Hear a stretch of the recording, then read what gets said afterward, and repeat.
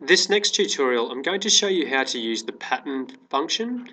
Uh, with this object here I'm going to draw up the buttons on a calculator to show you how we can do this the simplest way using the pattern function.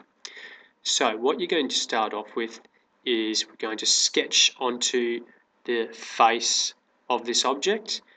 Um, you can sketch onto two different things. You can sketch onto a plane or you can sketch onto a surface. With this one, we want to sketch onto the surface. So we'll click sketch.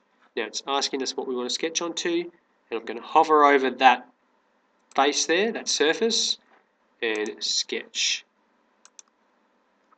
Okay, so we're going to start off with just drawing a basic button on a calculator. So we're just going to use a rectangle.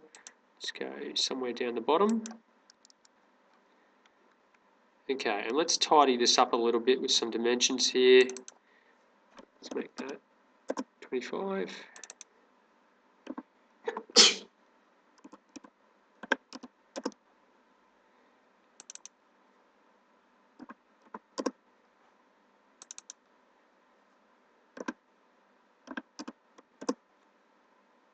Okay, I'm happy with that. So what I'm going to do is click OK. So now we have a base, we just have the, the sketch there. We're going to create an extrusion off that. So click extrude. Okay, it will default to a random height, that's 90.69. So let's change that. Let's see. A little bit small, let's make that maybe 6. Okay, happy with that. And click OK.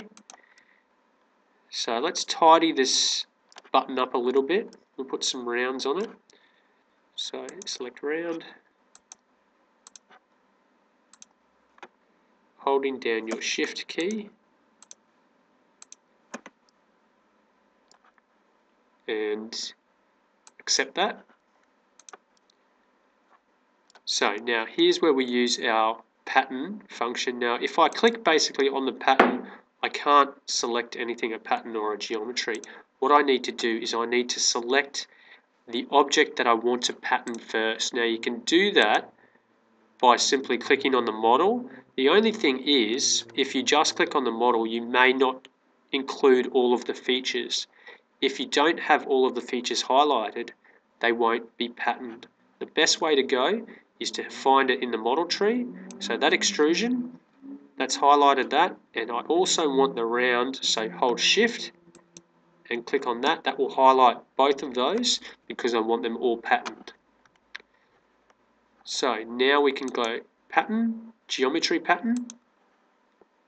And now it's going to ask us a few different things. First off we have this drop down. We, we have a number of different options.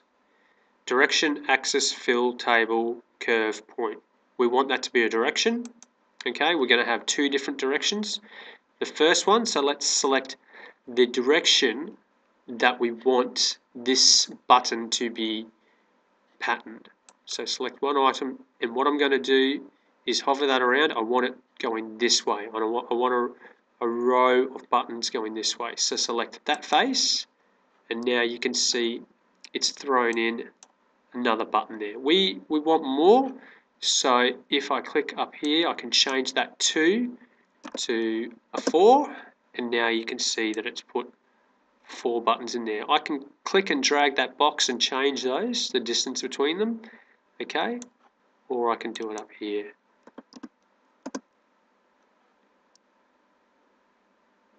Okay, so we've got one direction of buttons. We want another one here. So it's giving us an option for a second. So click click here to add the second, then I want them going up. So if I toggle that around, select that face, now I have another row, I can add in, change that up the top to 4, and we can stretch them out manually. So let's make that 45. Might change that one there to 40.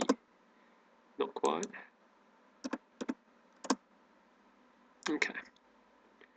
Once you're happy with what you have, select OK and you can see there that that has patterned all those buttons okay